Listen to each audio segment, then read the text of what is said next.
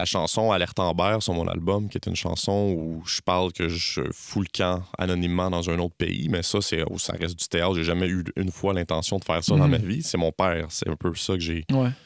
Mon père qui, qui est parti avant que je naisse puis qui a refait sa vie au Brésil, qui était comme un Mhm. peu. euh, Dans une secte religieuse. Ouais, hein. dans une secte religieuse, exactement. Qui s'appelle The Family. Vous allez pouvoir le googler. il y a même un. Je me souviens pas c'est quoi le titre du documentaire, mais il y a un documentaire sur Netflix. Sur ça. Il y a un documentaire sur, sa secte. sur The Family, exactement.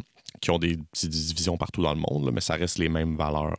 Des valeurs chrétiennes, mais des valeurs qui sont twisted. C'est une branche chrétienne euh, fondamentaliste extrême, genre. là. Exact, exactement. C'est extrême. C'est extrême parce que c'est très communautaire. C'est souvent des gens qui habitent à la même place, sauf que tout le monde couche avec tout le monde. Ah Ils utilisent les, ils font du, du phishing, c'est-à-dire qu'ils vont utiliser des femmes pour aller faire du recrutement. Ils vont les envoyer puis ils vont coucher avec des gars pour les ramener, par exemple. C'est un peu de la prostitution. Ouais.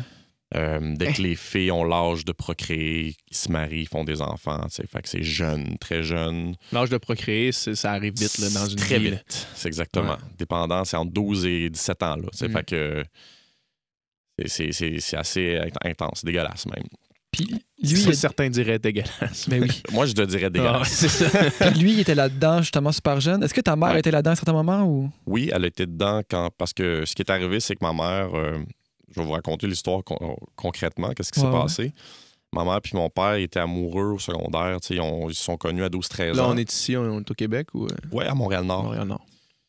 Puis euh, ils sont connus à l'école secondaire. Puis Mhm. c'était- c'était des. C'était un high school sweetheart. là, C'était son high school sweetheart. Ma mère, c'était comme son, sa blonde. euh, ils ont été tout le secondaire ensemble. Ouais. Puis les deux viennent de familles un peu défavorisées.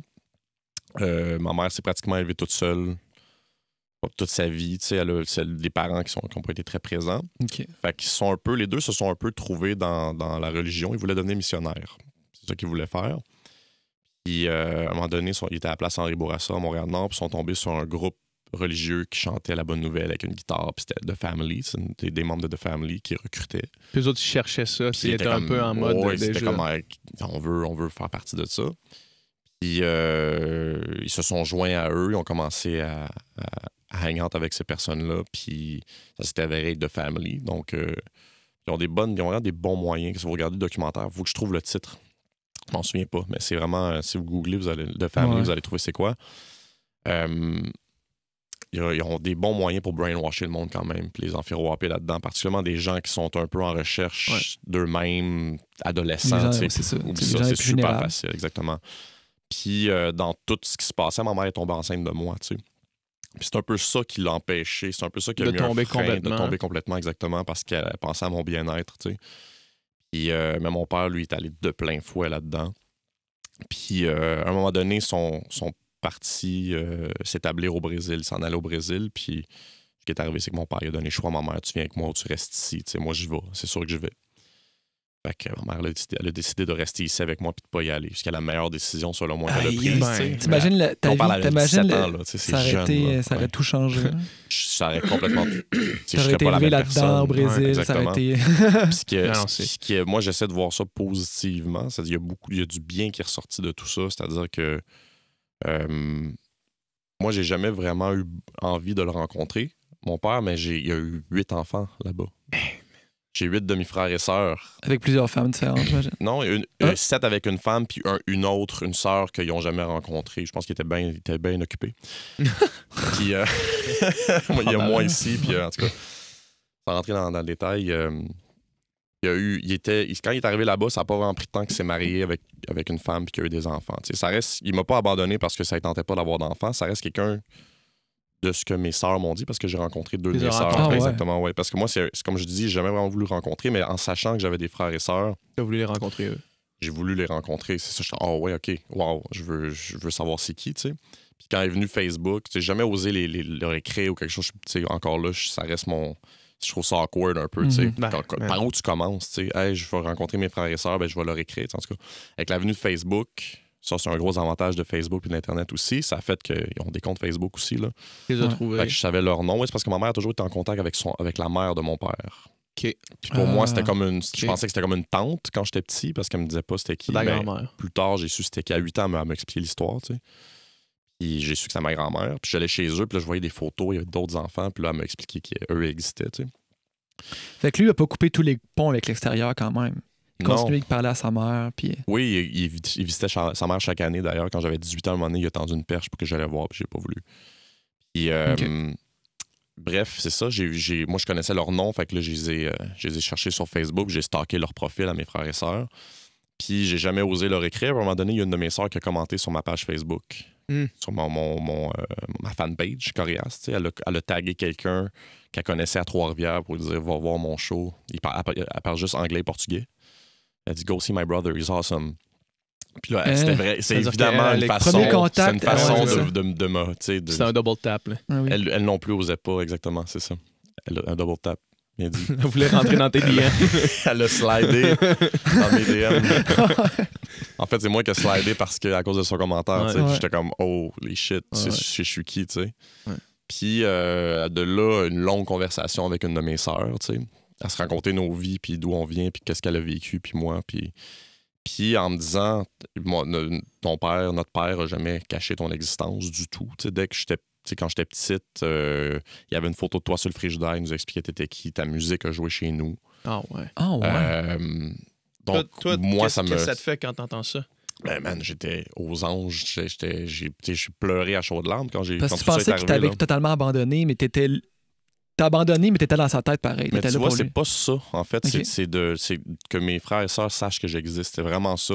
Ah Comme, ouais. man, ils savent-tu je suis qui? C'est ça que je trouve awkward de leur écrire. Puis je voulais pas leur apprendre l'existence Hey, d'un frère ouais. caché. Tu sais, j'avais pas envie de causer ce drame-là. Tu sais. Parce que malgré tout, je suis pas quelqu'un qui est revanchard du tout dans la vie. J'ai pas, Mm. pas envie de fâcher mon père. Tu sais. J'étais comme. Je veux savoir s'il leur a dit que j'existais avant. J'ai pas le goût de crisser la marde dans la famille. Tu sais. Puis effectivement, euh, ils, ils savaient j'étais qui. Tu sais. Mm. Puis euh, eux autres aussi ont tout le temps voulu tu sais, me voir puis me rencontrer. Puis tout ça. Mm. Puis là, j'ai su. En, en jasant avec te elle. suivre aussi, tu sais, euh, étant donné que t'avais une, une vie, Une vie vie publique. publique. Ben, c'est ça l'affaire, c'est que là, elle avait, elle savait j'étais qui. Euh, donc, elle me suivait publiquement, tu sais. Puis, euh, dans la conversation, tu sais, où t'habites, qu'est-ce que tu fais, tout ça, tu sais, j'ai deux de mes sœurs qui habitent à Vancouver, un frère et une sœur qui habitent à Toronto. Donc, ils sont déjà au Canada. Fait qu'à un moment donné, j'étais comme, venez-vous-en. Puis là, on parle de, c'est en 2015 que j'ai commencé à parler. C'est- récemment, là. Ah ouais. Puis l'année l'année d'après, en 2016, euh, j'ai- j'ai j'ai dit à mes sœurs, fuck off, je vous paye le billet d'avion, venez-vous-en chez nous. Puis ils sont venus passer quatre jours chez nous, deux de mes sœurs. J'appréhendais ça, genre, ça va être awkward, on se connaît pas, comment, tu sais. Puis, man, dans la demi-heure qu'ils sont rentrés chez nous, on était dans le divan collé, mes enfants sur elle, puis... Ah ouais. Oh, ouais, ça, c'est Il y avait un incroyable lien. comment le, le lien était là.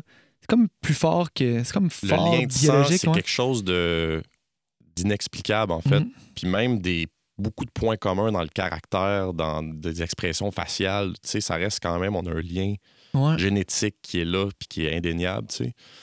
Fait que euh, puis on- ce qui est arrivé, c'est qu'ils ont passé quatre jours puis qu'on était incapable de se séparer. À la fin, on pleurait, je voulais pas qu'elle s'en aille, tu sais. Puis on s'est pas revus depuis, on se parle fréquemment, tu sais. On, on se tient au courant. Ils ont des- tu sais, Il y en a deux qui a deux enfants aussi, deux filles comme moi. Fait que, tu sais, on s'envoie des photos, on se, sais, là, on, on s'est dit récemment, ce serait temps qu'on se revoie, là, Ouais. tu sais.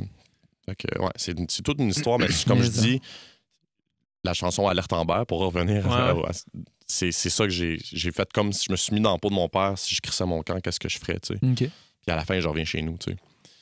Puis parce que je serais incapable de faire ça. Puis ça reste, comme je te dis, c'est du théâtre. J'ai voulu me mettre un peu euh, dans, les, dans souliers de quelqu'un qui décide qui est pas bien dans sa vie puis qui décide de s'en aller puis de refaire sa vie ailleurs, tu sais.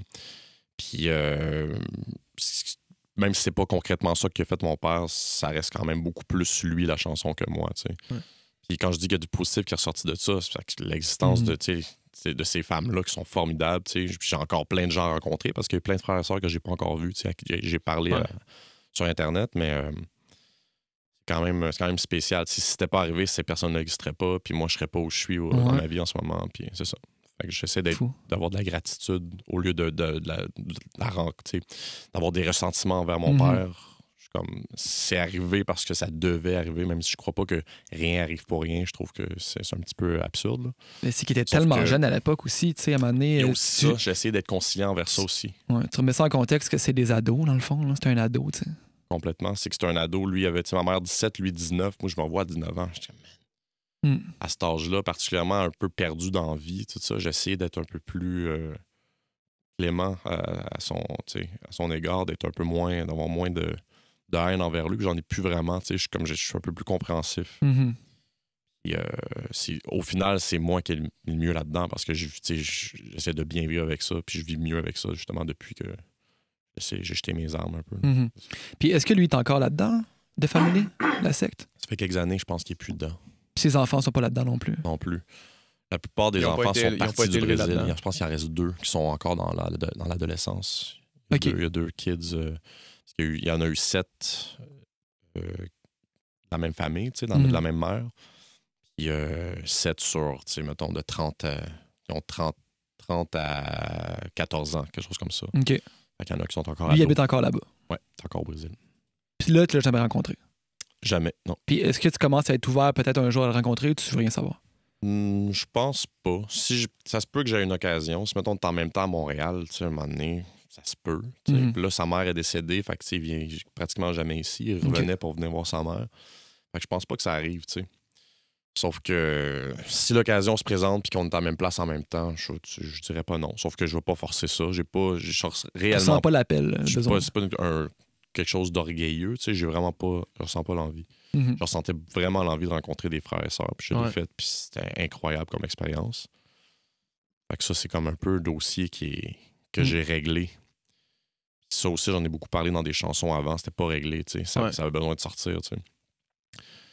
Ouais. Mais t'as quand même, tu dis quand même, j'ai rêvé que j'étais mon père, je me suis réveillé en érection sur ton album. Ouais, oh, Ce ouais. qui est un bon one-line. Ce qui est un, une- un excellent punchline. C'était plus. euh, ça aussi, c'est théâtral. tu sais. Ouais. C'est un peu. euh, ça fait partie un peu de la, de la, de la noirceur de la chanson puis de l'album, tu sais. Puis ça, ça reste du théâtre parce que j'en veux plus, tu sais. J'ai- Mhm. Puis peu importe à quoi je rêve, je me réveille tout le temps en érection. Ouais. Tout le monde. Tous les gars.